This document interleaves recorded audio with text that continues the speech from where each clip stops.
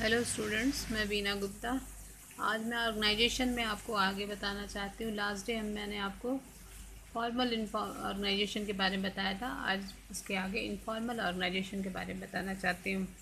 Informal organisation का मतलब होता है अनौपचारिक संगठन। अनौपचारिक का मतलब होता है कि संगठन का मतलब एक ऐसे संगठन से है जिसकी स्थापना जो होती वो जानबूझकर नहीं की जाती, बल्कि बल्कि यह अनायास ही पारस्परिक समान हितों, रुचियों, धर्म एवं संबंध के कारण हो जाती है। इस संगठन की मुख्य विशेषता आपसी संबंधों की एक मैत्रीपूर्ण और सहयोगपूर्ण प्रकृति का मतलब होता है।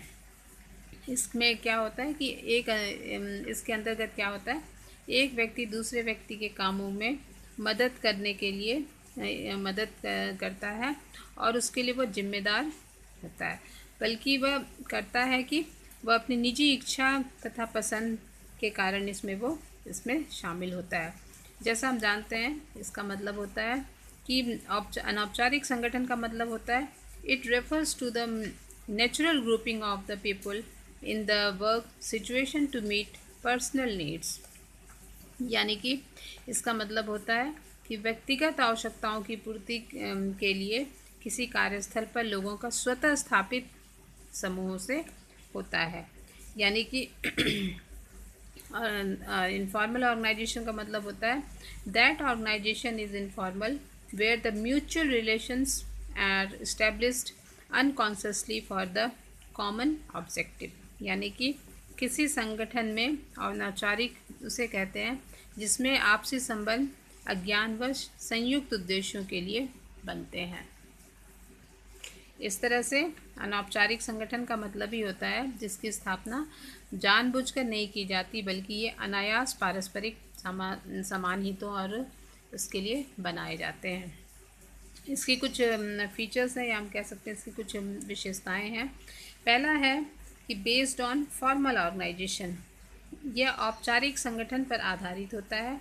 औपचारिक संगठन में काम कर रहे जो व्यक्तियों के बीच में अनौपचारिक संबंध होते हैं। यानी कि पहले औपचारिक संगठन स्थापित होता है और फिर उसी में अनौपचारिक बन जाता है। दूसरा होता है it has no written rules and procedure इस संगठन में आपसी व्यवहार का कोई लिखित नियम और प्रक्रिया नहीं होता। है फिर भी इसके, इसकी अपनी समूह परंपराएँ या कह सकते हैं ग्रुप फॉर्म होती हैं, जिसका पालन करना पड़ता है। इस तरह से इसमें कह सकते हैं कि कोई रिटर्न रूल और प्रोसीजर नहीं होती है। फिर है इंडिपेंडेंट चैनल ऑफ़ कम्युनिकेशन स्वतंत्र संदेश वाहन श्रृंखला। यानी कि कह सकते हैं कि इसमें विभिन्न व्यक्तियों के मध्य जो होता है या बीच का जो संबंध को परिभाषित नहीं किया जा सकता, क्योंकि वह निम्नतर, निम्नतम स्तर के व्यक्ति का ही उच्चतम स्तर के व्यक्ति के साथ सीधा संबंध होता है। यानी नीचे वाले सीधा ऊपर वाले से बात कर सकते हैं, इसलिए इनके बीच कोई एक संदेशवान श्रृंखला नहीं होता है। और कह सकते हैं संदेशवान के प्रभाव को स्पष्ट किया नहीं जा सकता। यह जानबूझकर स्थापित नहीं की जा सकती, या हम कह सकते हैं it is not deliberately created औपचारिक संगठन जो होता है, वो तो बनाया जाता है, लेकिन अनौपचारिक संगठन की स्थापना जानबूझकर नहीं की जाती, बल्कि व्यक्तियों के आपसी संबंध रुचियों के आधार पर हो जाती है। फिर कहता है it has no place on organization chart यानी संगठन चार्ट पर कोई विशेष ध्यान नहीं होता या कोई स्थान नहीं होता है। जैसा हम जानते हैं कि अनौपचारिक संगठन में कोई विधिवत रूप तैयार के रूप में तैयार किए गए कोई चार्ट या कोई उसकी ज़रूरत नहीं होती है या उसका कोई स्थान नहीं होता है। इसके अंतर्गत जो होता है संगठन पुस्तिका में कोई वैसी जानकारी नहीं दी जाती है और वो लोग उसमें काम करते हैं। फिर कहता है इट इज़ पर्सनल या यह व्यक्तिगत होता है।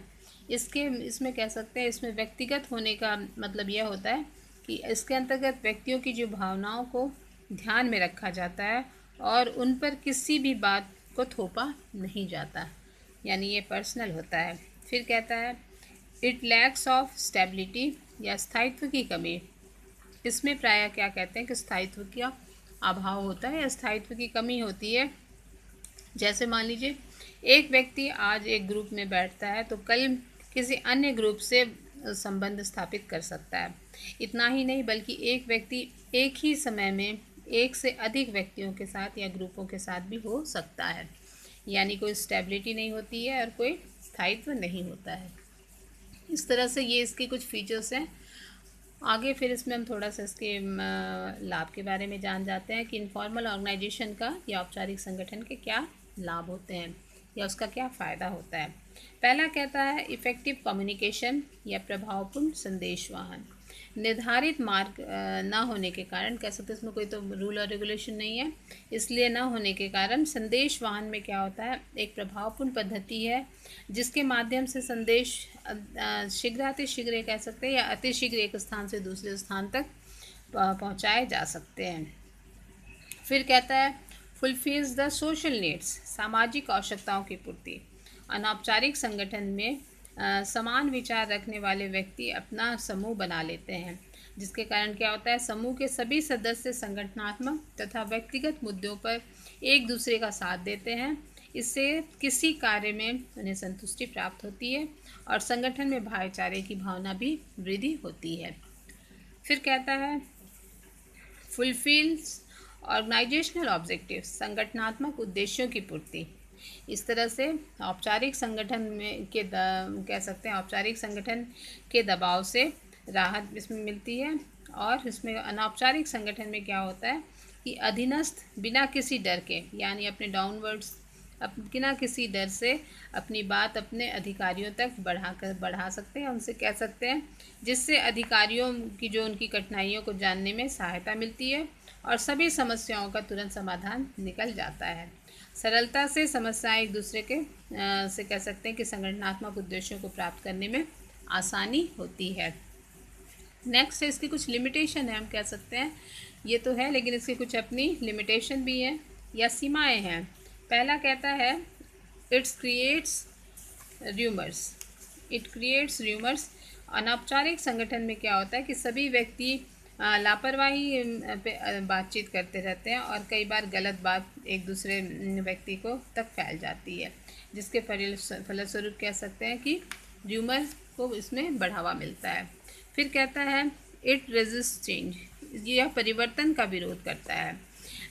यह संगठन, इसमें क्या होता है कि परिवर्तनों का विरोध करता है और पुरानी पद्धतियों को ही लागू करने पर ज़्यादा ज़ोर देता है। फिर है प्रेशर्स ऑफ़ ग्रुप नॉर्म्स समूह परंपराओं का दबाव। इसमें क्या होता है? इस संगठन में सदस्यों का सदस्यों पर सम समूह परंपराओं का पालन करने का दबाव रहता है। कई बार क्या होता है कि अनौपचारिक समूहों में एकत्रित कुछ कर्मचारी अपने लक्ष्य को लक्ष्य से बेखबर हो जाते हैं और सभी एक आवाज़ में अपने अधिकारियों का विरोध करने का निर्णय ले लेते हैं। ऐसी स्थिति में क्या होता है कि उत्पादकता पर विपरीत प्रभाव पड़ता है। इसलिए कह सकते हैं प्रेशर ऑफ़ ग्रुप नॉर्म्स इसलिए इसमें समूह परंपराओं पर कुछ दबाव रहता है। इस तरह से हम देखते हैं कि फॉर्मल ऑर्गेनाइजेशन और इनफॉर्मल ऑर्गेनाइजेशन में थोड़े से डिफरेंसेस हैं। या कह सकते हैं दोनों के अपने कुछ गुण और दोष होते हैं। इस तरह से औपचारिक संगठन में क्या होता है? और अनौपचारिक संगठन में एक समूह में कार्य करते हैं, इस तरह से ज़रूरी है। और जैसे कैंची को कार्य करने के लिए, योग्य बनाने के लिए उसमें दो ब्लेडों की आवश्यकता होती है। इसी तरह से किसी ऑर्गेनाइजेशन में फॉर्मल और इनफॉर्मल दोनों का समन्वित रूप कह सकते हैं, होना ज़रूरी होता है, जिससे काम आसानी से हो सके। Thank you.